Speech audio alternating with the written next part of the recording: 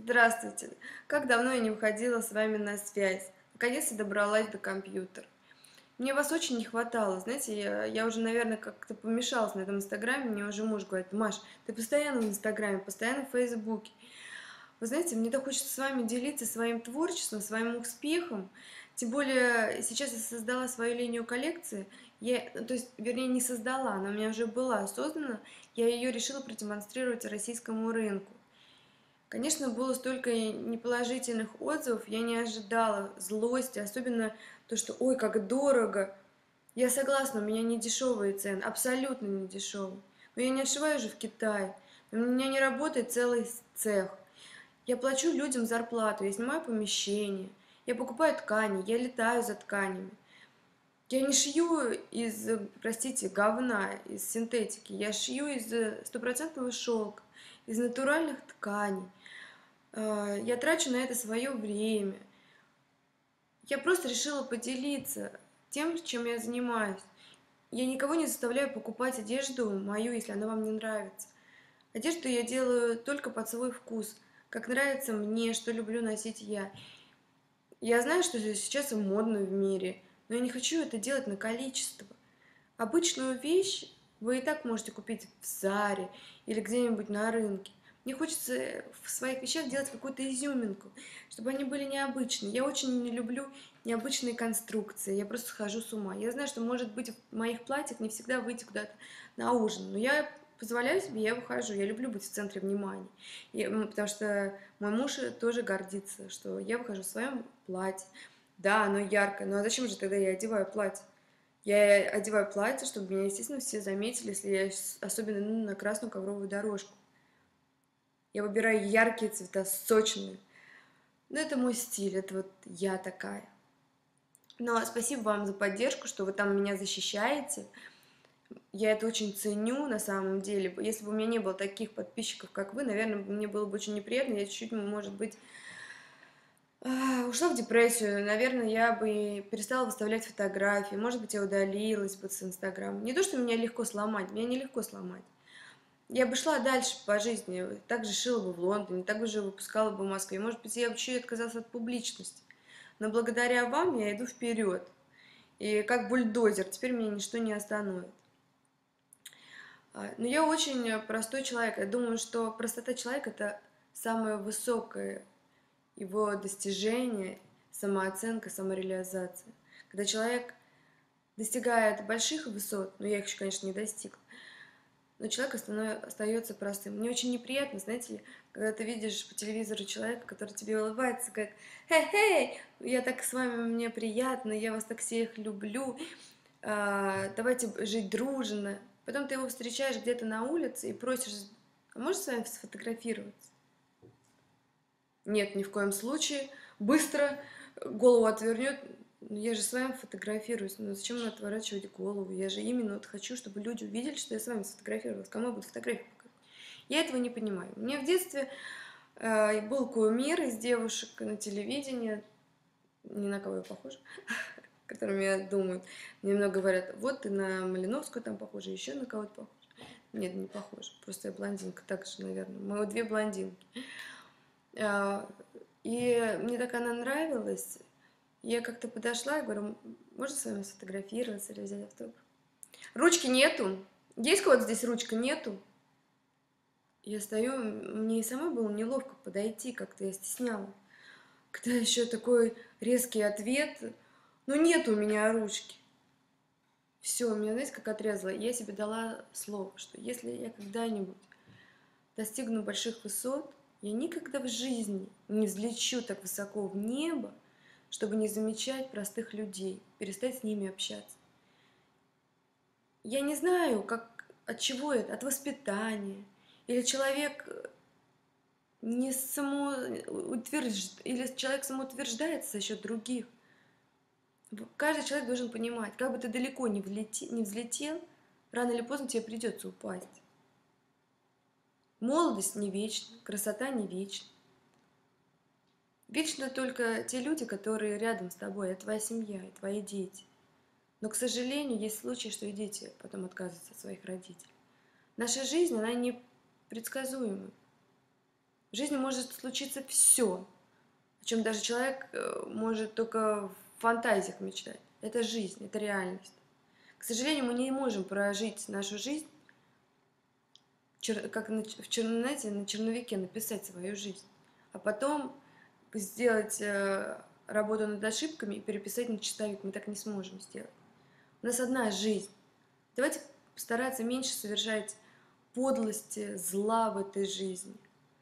Вот, например, вы мне написали, что Маш, вас предавали, да, меня предавали. Меня очень сильно предавали. Я с вами искренне. Иначе зачем мне с вами общаться, если я буду врать и лукавить? Меня предавали. Меня предавала моя лучшая подруга. Ну, нельзя сказать лучшая, но подруга.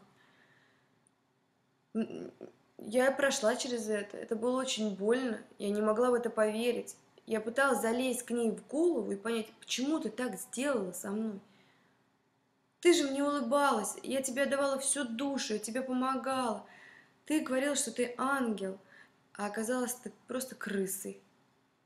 И сейчас я убеждена, чем тише человек, чем он сидит и никогда не рассказывает о своей жизни, а молчит в компании, но слушает остальных.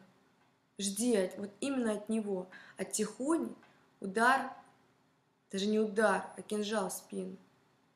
Такие вот тихони, они чаще всего и наносят удар. А открытые люди, у которых много эмоций, может, они смешные, может быть, мы их не, ненавидим. Ну, не то, что ненавидим, они нам не нравятся. Мы прикалываемся над ними, обсуждаем их за спиной, э, осуждаем их. Но они открыты, они вот что думают, то и говорят. А, я, а от них не надо ждать подвох.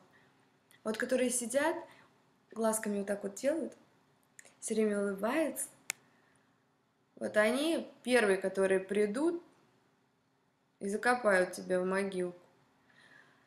Да, я тяжело пережила, я даже, наверное, еще и не пережила, я этого не могу понять, но, вы знаете, меня очень много в жизни не предавали, а мной пользовались. Вот, например, я не, считаю, что я не изменилась. Изменилась, может быть, моя жизнь, у меня появились дети, я, у меня появились возможности. Сама внутри не поменялась. Такая же Маша, Маша соседнего двора из района Сокольник в Москве.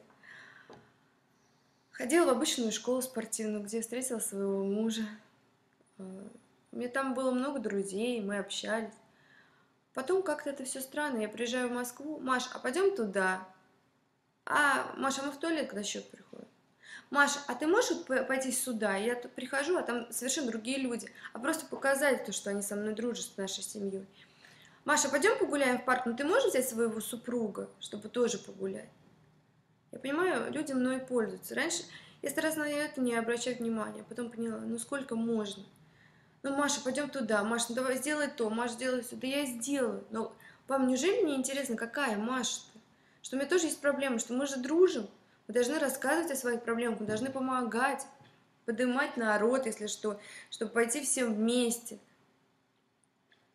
Ведь неважно, сколько у тебя людей. Знаете, как один очень умный мужчина написал, а, я вот запомнила фразу, но, может быть, неправильно вам ее скажу. Он сказал, что он мог создать революцию, даже из 85 человек. Можно создать, вернее, революцию. Главное было бы желание и общая идея.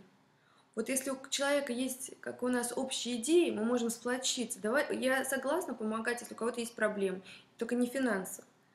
А, а рассказать, если вам не, не с кем поделиться. Могу дать свой совет. У меня, правда, я прошла огонь и воду, медные трубы.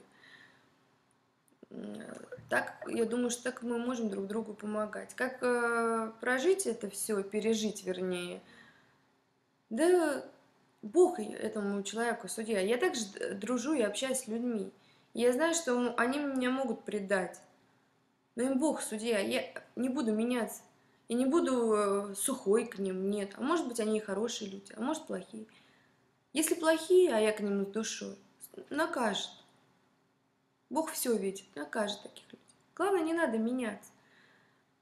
Все трудности жизни, предательство, я не знаю, подставы, осуждение человека, оскорбление, втоптать человека в грязь. Это должно делать нас сильнее. Если вам так относятся, это значит, вы не то, что вы заслужили, а то, что вы выше этих людей. Вы уже высоко поднялись, они остались. Потому что они видят то, что «А, она устроилась на работу, она пошла, поступила в шикарный университет, так еще сама, а у нее дети, так она еще ходит в спортзал». Да не только про меня, я вообще про всех говорю. Это зависть. Когда человек завидует, он не может молчать. Его гнев, э, зависть, огонь изнутри прет, что ну как же, вот как же вот она, а не я, ну вот почему? А мы каждый можем достичь высот. Мы все люди обычные.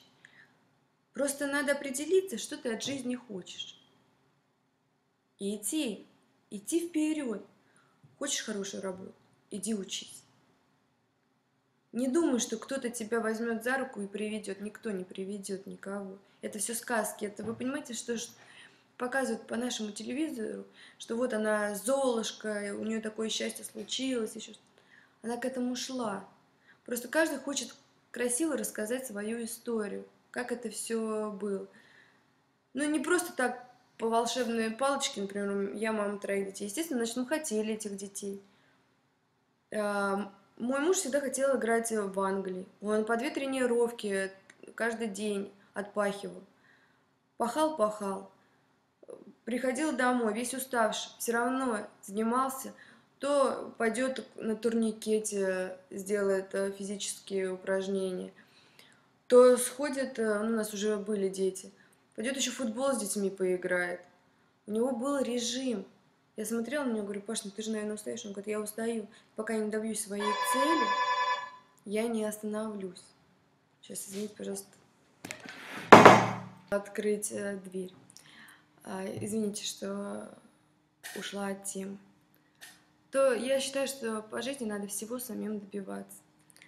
Также меня спрашивали про мои волосы. Посмотрите сюжет, я писала и рассказывала раньше что я пользуюсь альфа-парф, я не подстригаю волосы уже где-то больше трех лет. А я слежу за своим питанием. Как я слежу за своим питанием? Вот я вам расскажу еще в краткости. А, мой режим питания очень, можно сказать, прост. А, самое главное – съедать не больше 500 килокалорий за день. Это действительно так я перепробовала, вы думаете, я не пробовала? Я пробовала все. Я пробовала пили всякие, таблетки,